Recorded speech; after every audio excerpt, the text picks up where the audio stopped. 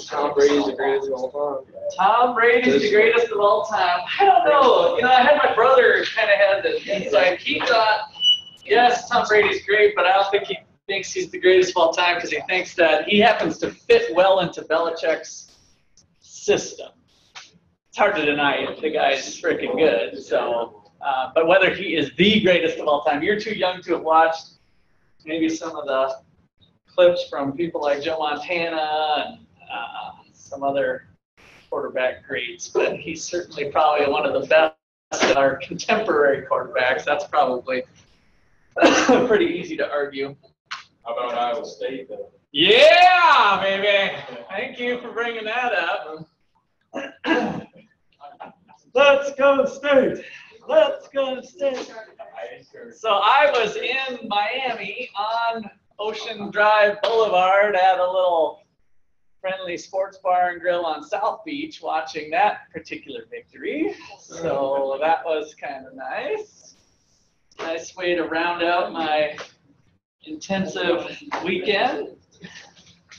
All right, so um, so chapter four, uh, I believe it's four, yeah. Chapter four, scouts, and you guys did chapter three, uh, but we haven't discussed it yet. So chapter four, Skousen is due uh, Wednesday before class, and I've talked about it then.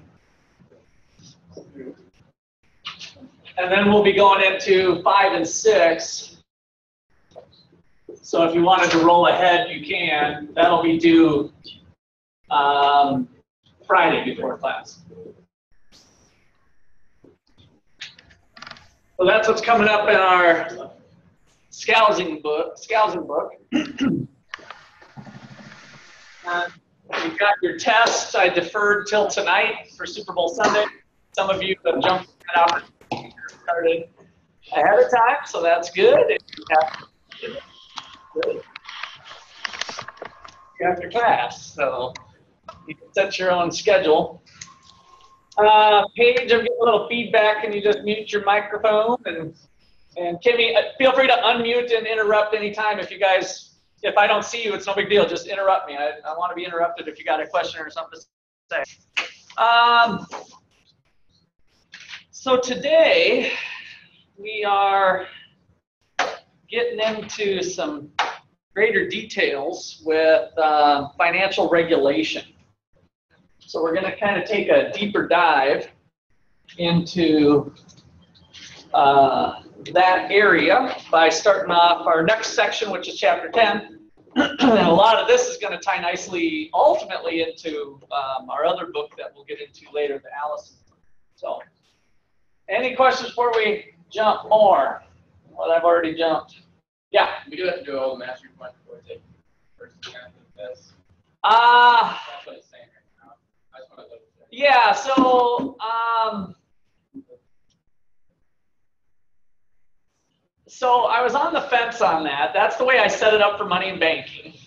Um, and I wanted to kind of experiment with guys on that. So that's the way it shows up. How did I do it the first time? I let one attempt first.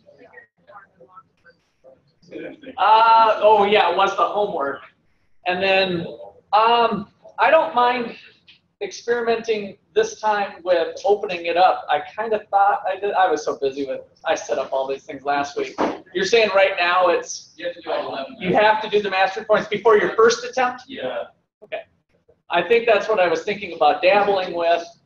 Um, I don't mind relaxing that uh, this time, but I just to kind of because I w- would have liked to have told you, and I honestly I kind of thought I flipped it around. I was going to tell you that next test I was going to do that, um, just to kind of see how it goes and what you guys prefer. So if you email me, um, I'll try to remember on my own. But if you see that it's still set up that way, email me and I'll try to get it unclicked after after class. Yeah, Yeah. I just want to be like really clear for myself. So you are changing it for this time. That's all. They do not do master. The first attempt. Right. The second attempt, you'll need to take it again. Yeah, or you'll have to get the mastery points. If you, if you would have done And, and uh, that was the thing I didn't tell you guys. Um, one sec, Josh. Uh, I had really good results of how well people did on their second attempt. You guys jumped 20% on your scores. So I took your average scores of those people who took two attempts, and the average was like 55 or something. The second attempt, it jumped to like 74 or 75. So the second attempt, after working through the mastery points, really improved your grade greatly. So some of you who did not do the second attempt, I think kind of missed out on that. So leave yourself enough room. Um, and then the peop, there was just a couple of you that did the third attempt, you actually increased another 10% on top of that. So those of you who are wondering, oh, is it really worth it to spend the time doing a third attempt? Well, another 10% this data showed this time. So a 20% jump on the second attempt, 10% jump on the third attempt. So a little diminishing returns kicking in, but still some marginal benefit. Okay. Any question? Other que- Okay, Josh, what were you going to ask?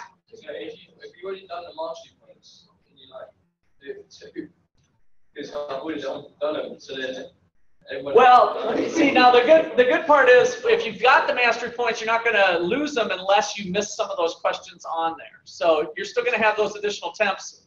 As long as you scored on those other attempts, you should be good. So that'll still work to your benefit. Plus, you probably learned the material a little bit better anyway. Maybe. Now remember, once again, I've said this before, you do not have to do all the practice problems to open up another quiz attempt. Remember that. So you've got the five question quiz, and then if you don't pass that quiz, you have to go get the mastery point. There's like 17 practice problems. You do not have to do all those practice problems, right? Just have to do one of them to open up the quiz again. Is it still set at hundred percent that you have to get it on? I will, let me, let me just check my settings, not now, but after class. Because I have them set a little bit differently for micro, for principles class and this class, so let me, actually, I'll write it on the board here for myself. MT. And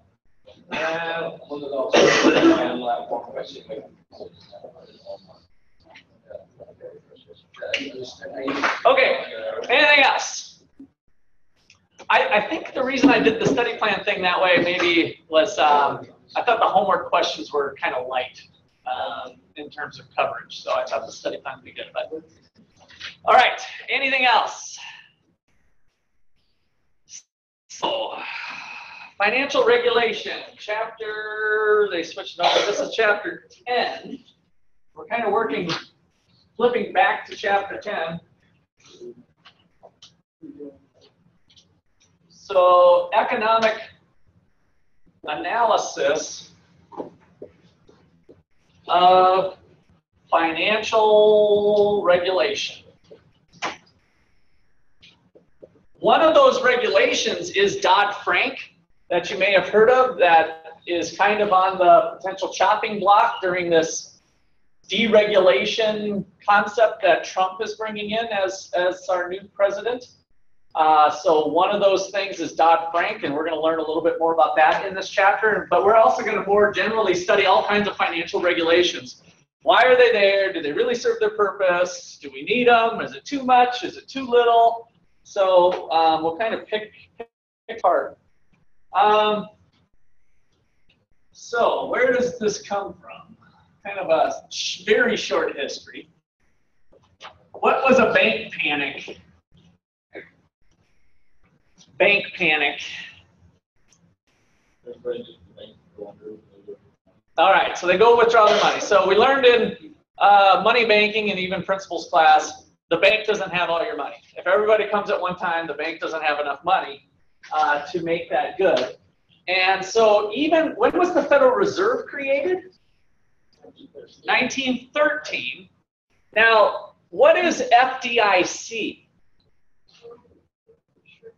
Good, Federal Deposit Insurance Corporation, so FDIC insurance. That started in 1934. So the FDIC and the Federal Reserve actually serve different functions. The Federal Reserve, when it was initially started in 1913, served as the banker's bank. Why? Why did we call it that? Banker's bank. Okay, good. So they would make loans to banks that were in trouble, and potentially that would help uh, keep people's panic down. However, at that time, they did not insure their deposits. So how it worked was if the bank ultimately did go under, um, not all of the money was there, and the creditors might have, or the depositors might have still lost some of their money. And so as a result of that, even though being the banker's bank helped reduce the number of bank panics and the number of uh, bankruptcies of banks, um, it, it kind of didn't fill that final gap of ultimately depositors money. money. Now, some would argue, what's wrong with depositors losing some of their money? I'll come back to that later. That maybe that's not something we necessarily have to do. There might be some consequences to having that. But the Great Depression um, was a time when people were hurting and they wanted to put more confidence in the banking system. And so the federal government instituted the Federal Deposit Insurance Corporation. So bank panics um, caused some banks to fail if um, short-term Fed loans were not enough to keep the bank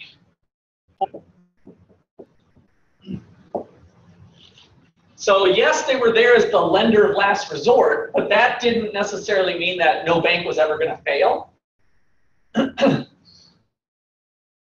and so depositors would still have to go through a process similar to like bankruptcy, right? The bank actually owed them, but the bank didn't have any money. So maybe just to use some easy numbers, if the bank had a million dollars worth of deposits and uh, they started to go under, if they uh, sold all their assets and collected old loans and everything, maybe they were able to get back 600,000 of the million dollars worth of deposits, and then the people would end up getting 60 cents on the dollar, right? So that's kind of a, a liquidation process. It's very similar to how bankruptcy uh, occurs in the United States. If a company goes bankrupt that owes you money, then you're going to have a similar thing done. They'll go through the bankruptcy process, sell all their assets, have a big pile of cash, but the pile of cash isn't going to be enough to pay everybody. So the money will be paid back in a pro rata form to the to its creditors. So Kaylee owns owes uh, uh, has 50% of the total outstanding debt. Jake has 10%. I have 40%. So the big pile of money, whatever's left over, 50% of that pile is going to go to Kaylee, uh, 10% to Jake, and uh, 40% to me, right? So it's a pro rata share to the creditors, but ultimately all three of us got screwed because of the bankruptcy. Well, that's essentially what's going on with the bank because they got their money from depositors. So in a bank liquidation, so when bank fails, so depositors are entitled to a pro rata share of total deposits. After the bank sells all assets through bankruptcy.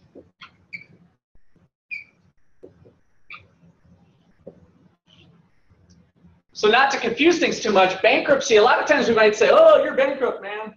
You know, and so that's not, people might say you're just out of money, right? You, you don't have any money to pay your bills. Oh, you're bankrupt. Well, maybe you can do some things with a short-term loan from Uncle Fred, uh, or Uncle Fed in this case, to make your bills happen.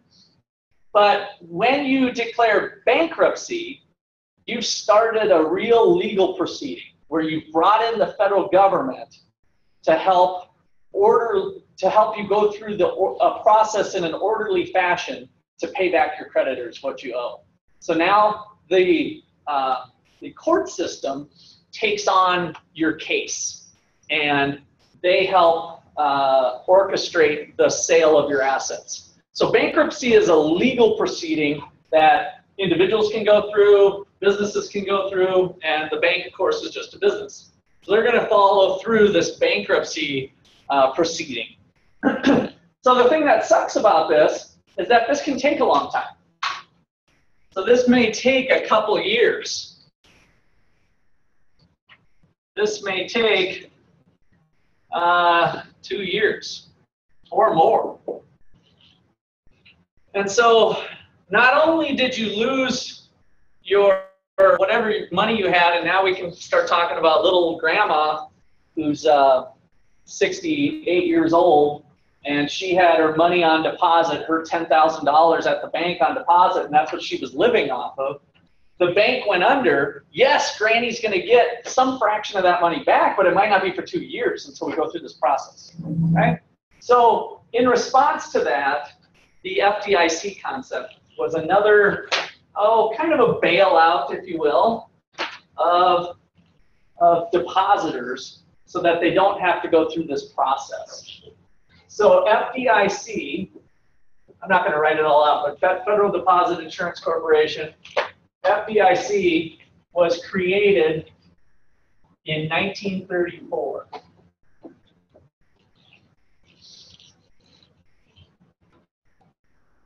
And so how it works is they're going to make the depositors' money good right away. So they're going to step in and make the, again, the bank might have been working with the Fed on some of this stuff, but they have this insurance policy where they are paying in premiums to the FDIC so that in the event of a fault, the FDIC pays those depositors back. So it really does function like an insurance, an insurance uh, policy. All right, and so then the the uh, the premiums that the banks pay are just a function of how many banks were going under, and so it's underwritten similar to a car crash with your auto insurance, right? How many claims are going out? Uh, your premiums are going to be set accordingly. So that's our that's our FDIC. So FDIC pays all depositors back 100% up to 250,000. Good. So FDIC is 250,000 currently. It used to be 100,000, by the way, uh, for a long time. I don't remember what the dates were. Uh, but they ramped it up to 250 during the financial crisis. So that was one of the early moves that they did was they bumped it up to 250 for the financial crisis. All right, so um, let's just do a quick little example. Um, So this is called the uh, the payment method. Um, so let me let me up one second here. So FDIC short circuits uh, bank failures and contagion effect. I'll come back to that one. through two through two ways. One I just kind of described was called the payoff method.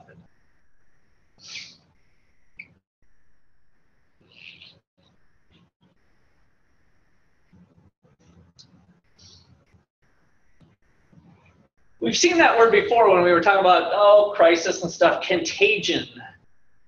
What is, what is implied by contagion effect?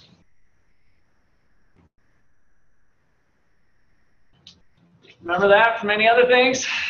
Contagion.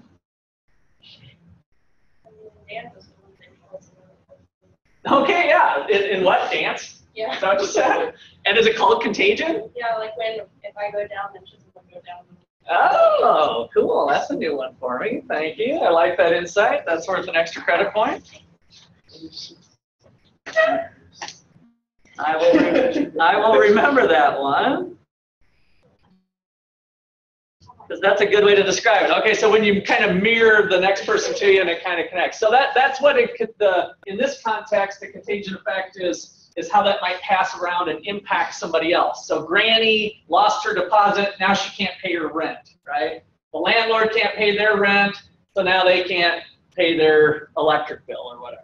So then you've got this, these implications that kind of keep passing along uh, uh, people. So it's it's similar. I before learning uh, Kaylee's uh, contagion uh, example there, I just always thought of a, of a cold being contagious, right? You pass it along from one person. You can kind of think of, the, of contagious as well. So the one method they do is through the pay payoff method, which is what I described here. And then the second way is through assuming the bank. So this is the purchase and assumption method.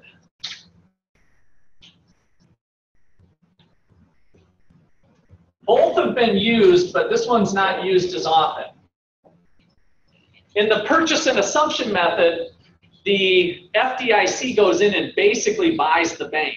It takes over bank operations. And so it, it ends up trying to kind of work through uh, the assets on the books and kind of take over the bank. So just put a, a little note here, FDIC takes over operations. They don't do this one very often because this is pretty costly. But in some cases, um, if the bank is like maybe close to being solvent, but um, they think they can maybe correct something that's wrong at the bank, uh, maybe the leadership or something else, they might be able to step in and recover more money that way by taking over the bank rather than just to completely bail them out the, with the money. All right, so those are the, the two ways. Um, after the bank pays out, if they use the payoff method, how do they get their money back? How does the insurance company get their funds back?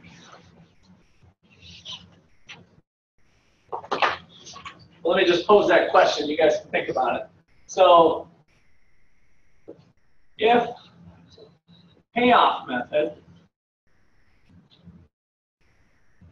how does FDIC get money back? So the first step again is they pay all the depositors. So they pay out deposits less than or equal to 250K right away.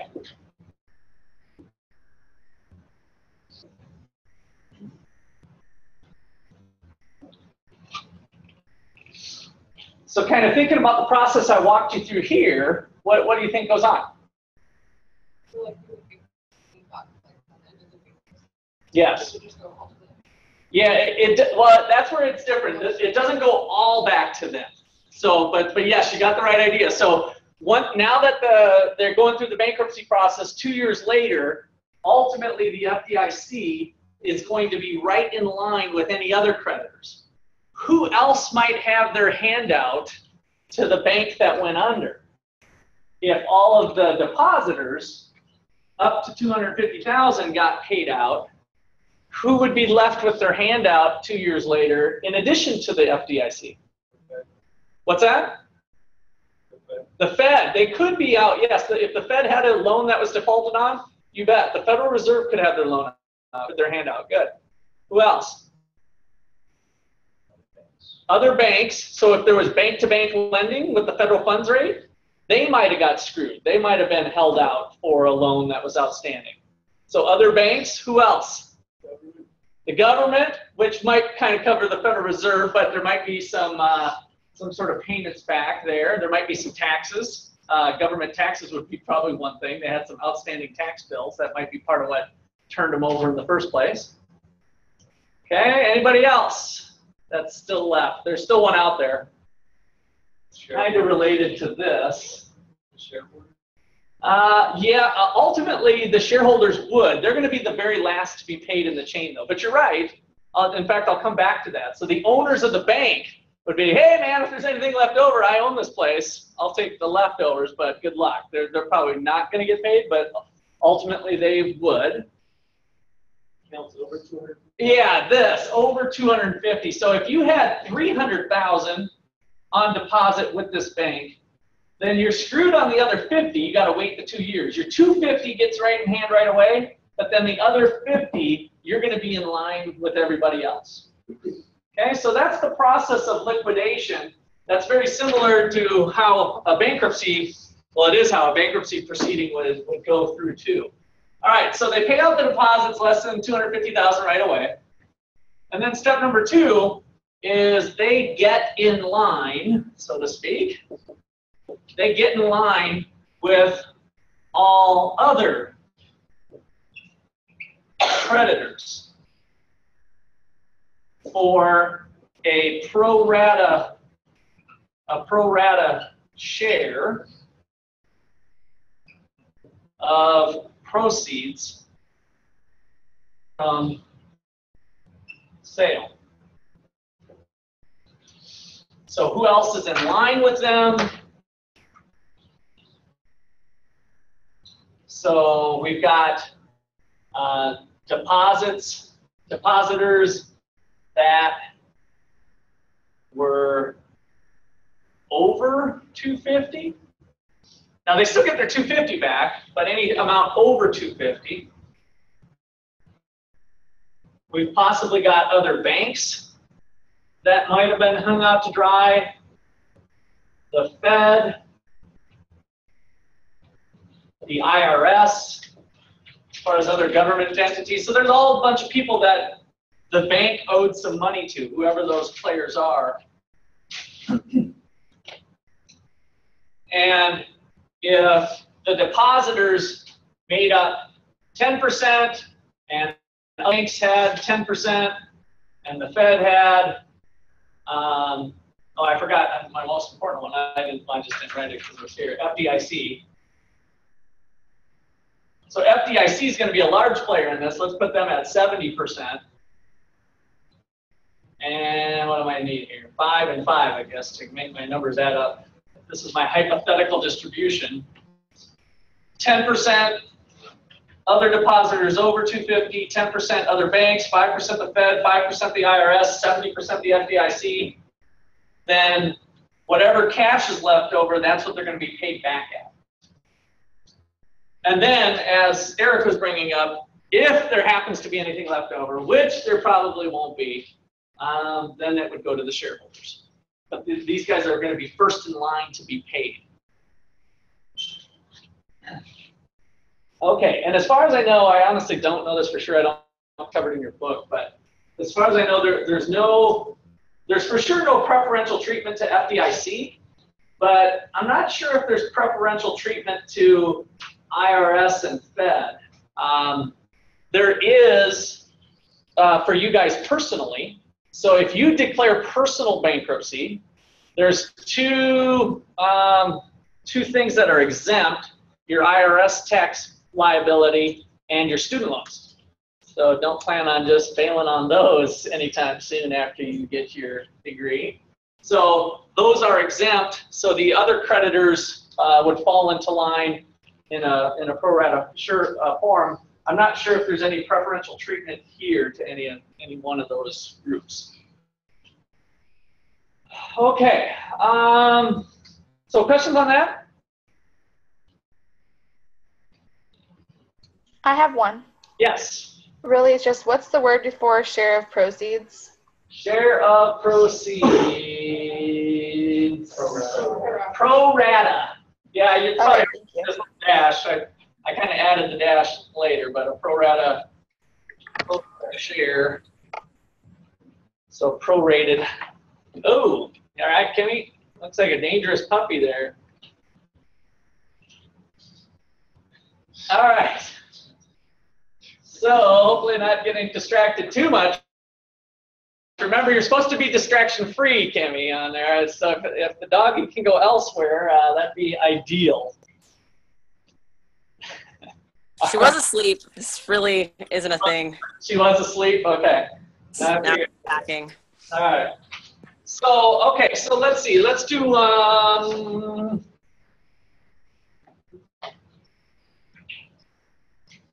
let's do a quick little example. So data shows that 90%. Um, suppose a depositor typically gets typically gets 90 cents on the dollar, which is approximately what happens with these bank. So the banks are usually monitored pretty closely nowadays. So they're trying to keep them solvent so that if there was a bank failure, if they sell all their assets. So this is high relative to probably what normal business would be in a bankruptcy. But the data they've got is that depositors can usually expect to get about 90 cents on the dollar if a bank goes under. So let's just say that a depositor typically gets 90 cents. Um, uh, typically gets 90 cents on average if a bank fails.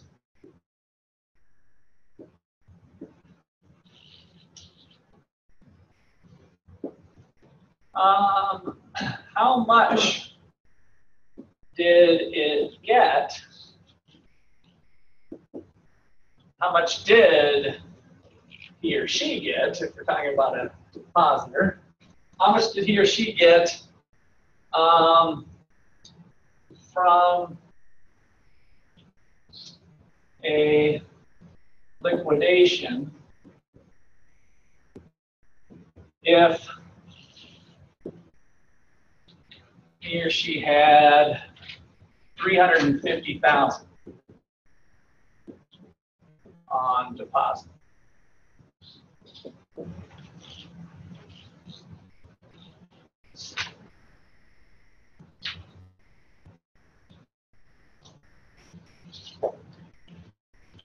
So crank that one out for me. Shout out an answer as soon as you get one. 315? How much? 315,000? 315,000. No? Everybody get that? I'm seeing some head shaking no so far, Paige, but thank you.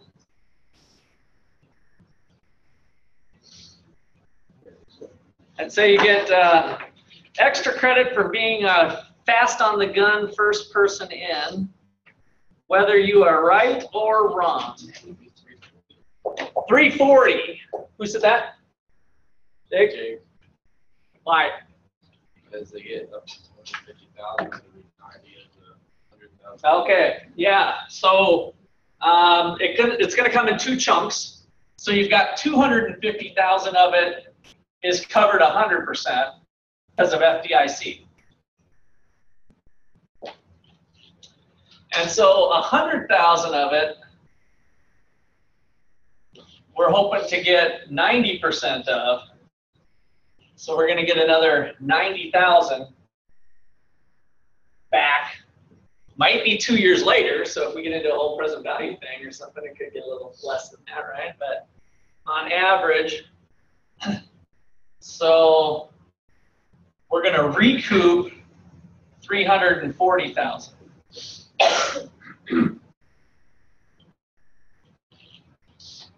But you're not gonna feel real happy about that. So what's another way that you could hundred percent protect yourself if you were this depositor? two accounts. So it is per bank, per bank. So you can't do two accounts at the same bank. So it's per depositor at a bank. I don't believe you can use a branch bank either. So you need to go, if you're at Wells Fargo, you're going to need to go to First National Bank. You're going to have to switch banks, but you're going to have two bank accounts, one with 250,000 at most, and you might, you might have less, and then another bank with the hundred thousand, and then you're gonna get hundred percent of it back. So that is how people's behavior changed post-contract. What is that, moral hazard or adverse selection? Moral hazard, right? So their behavior changed to only putting up to 250,000 at most in any one bank. And so they started to spread it out. Now that's good in terms of bank failures. So to that extent, that's that's kind of working the direction we'd like it to, right? So if we're spreading our eggs out in one basket, then if any one fails, um, we're not gonna. The FDIC probably isn't gonna have to for everything, or you'll get some of your money back. Well, I, I, I take that back. Um, it's working for you, but does it work for the FDIC? No, because they're they're still going to be exposed up to the all of the deposits everywhere, because and that's what we see people doing is most people would put the uh, money out into uh, multiple accounts. So Wall Street gets this idea. I don't even know if this is Wall Street, but kind of Main Street banks. I, it's got to be Wall Street, and they started creating what was called sweep accounts. So a sweep account was set up to work around this FDIC. So you've got a big fat cat that's one of your clients at the bank that you know has a million dollars to the good liquid at any time. So you, you'd like to have that money in your bank account. And so one way to keep it in your account to kind of help serve your customer and keep keep their money there is let's say it was uh, 750,000. So you can keep 250 in the account before the end of the banking day. So 5 p.m. when the bank closes, might have been 4 p.m. I can't remember what time for the sweep accounts. The banker will literally sweep your money, 500,000, out of the account and invest it for you in an overnight uh, security. So then overnight, you would earn interest on your 500,000 the next day you'd cash it out and it would be put back into the account. So it's called a sweep account. And that way, the person, the fat cat who loved working with First National Bank and all their friends are there, they were able to keep their money at the bank by using this sweep function.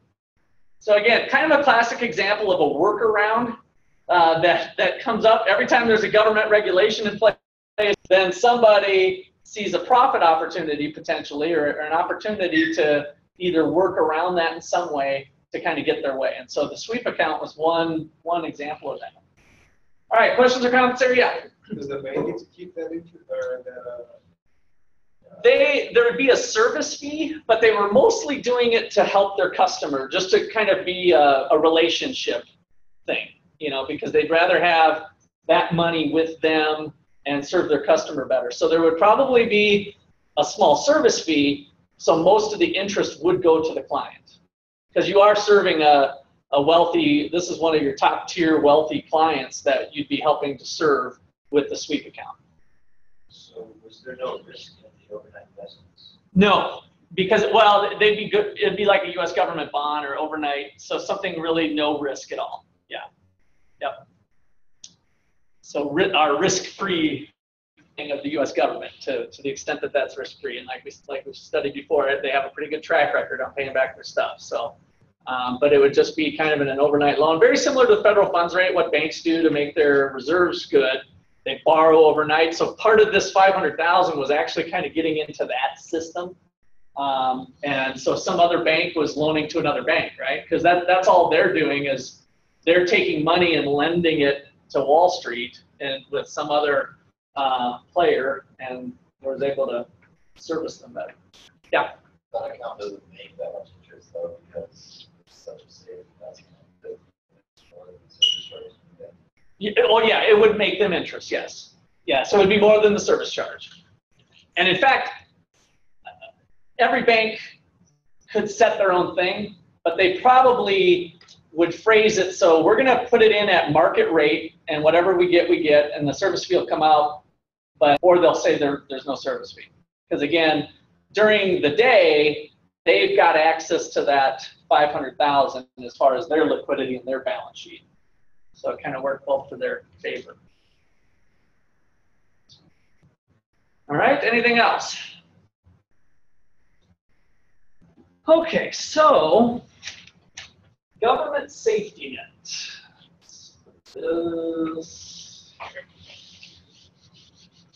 Oops. I erased my note. I'll Rewrite my note.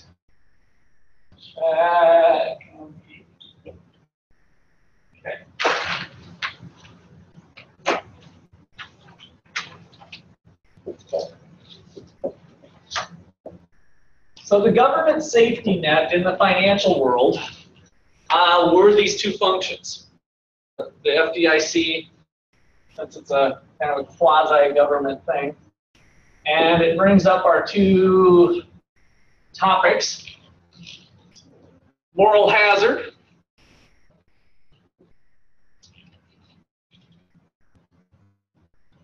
So moral hazard, on the moral hazard side, depositors do not impose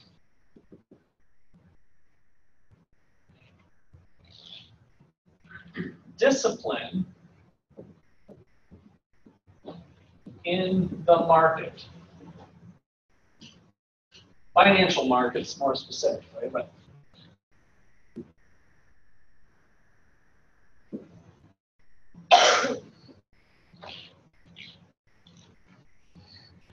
So when we have FDIC, depositors do not impose discipline.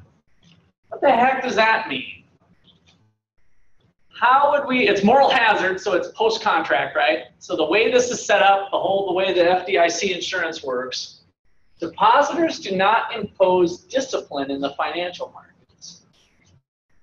How do you think that is? What do I mean by discipline in this context?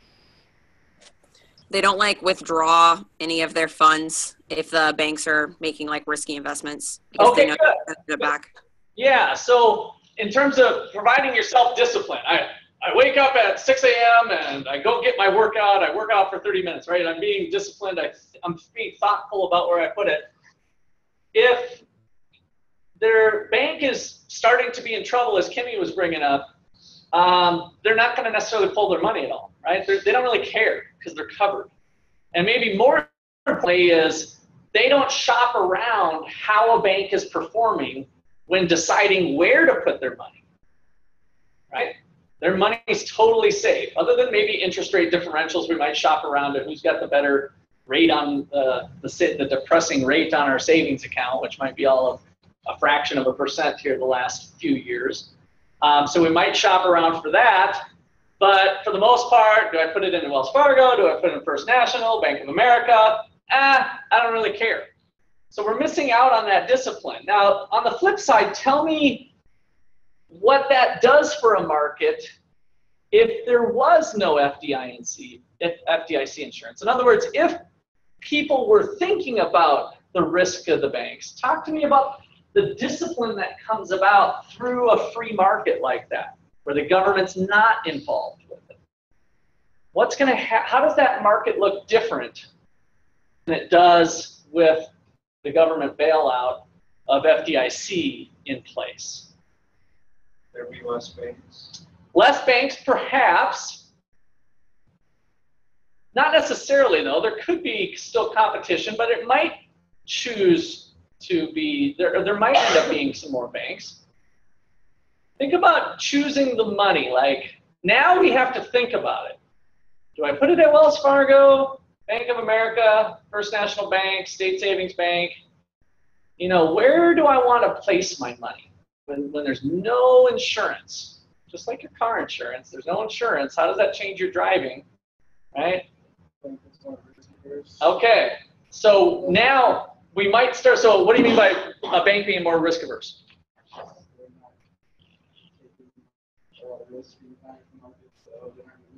Okay, so back to how the bank makes money. They take your money and they loan it out, right? Who are they loaning it out to? Well, most of the time we don't know that. Do you think we might check out some reports if our money wasn't 100% covered by the government? Now, think that a step further now. So now we're going to be doing our research. who's getting our money? Who's the banks that are winning and losing in the marketplace? Who's the winners? Who's the losers? Now that we have market discipline by the depositors, thinking about where they put it for the reasons like Joe brought up. Who are the winners?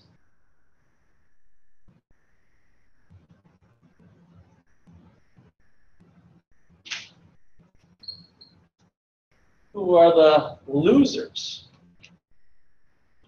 So you can kind of run with, I mean, Joe, Joe kind of hit it on where the money's going.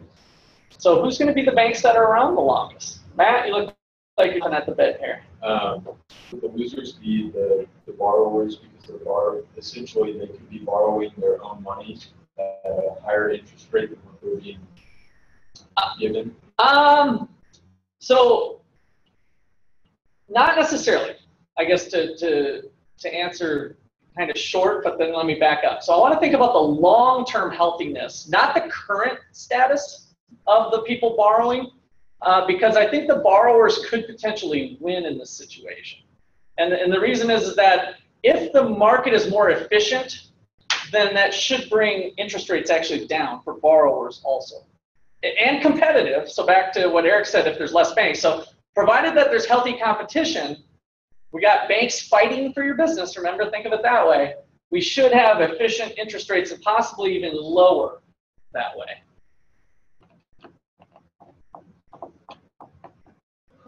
Who is the who are the banks that are surviving in this environment? How do they make money again? Joe, go, go ahead. Uh, the banks that can fund us loans. Okay, so the banks that are putting their money to work the best, finding the less risky investments potentially for the bank for the buck, remember, with risk and interest rates, so they're really doing their thing. Those banks that are, are actively being a safe place, because do you think depositors would value really risky behavior on banks' parts? Not without the insurance there. That's my hard earned savings.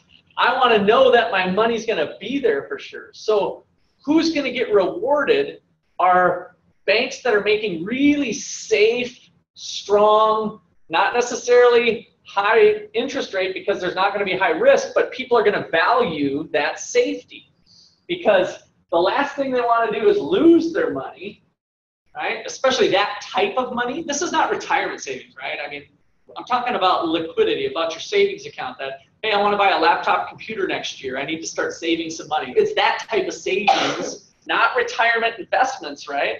We're thinking about money that needs to be kept really safe.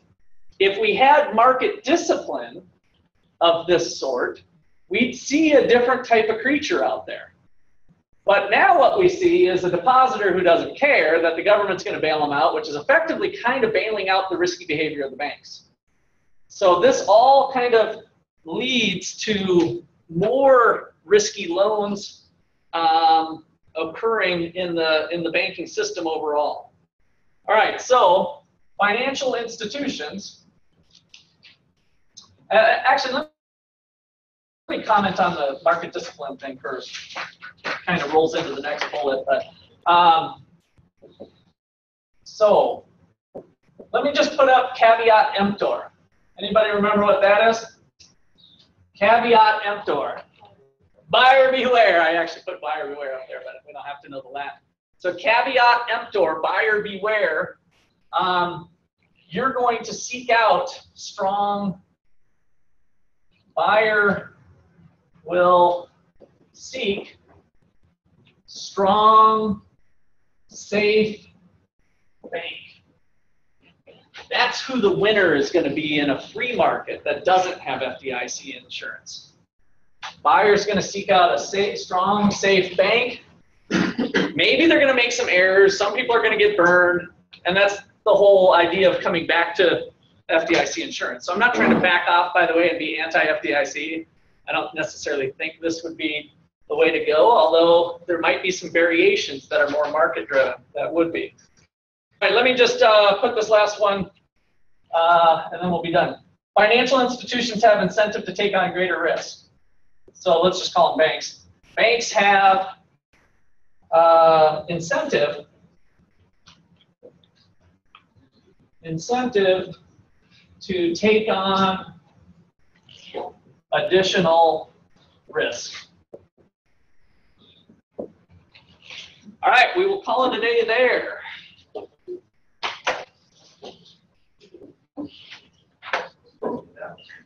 Uh,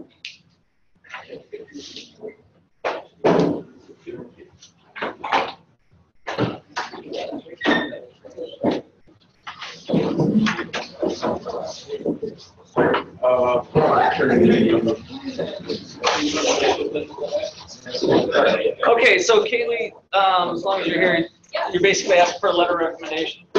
Program. There's just a tab on there that you have this. Okay. I will be happy to do it, of course, so that's good. When is the due date and stuff? Okay, very good. Okay. Uh, Okay, next, next week, Chris, you just said. Instead of- Should go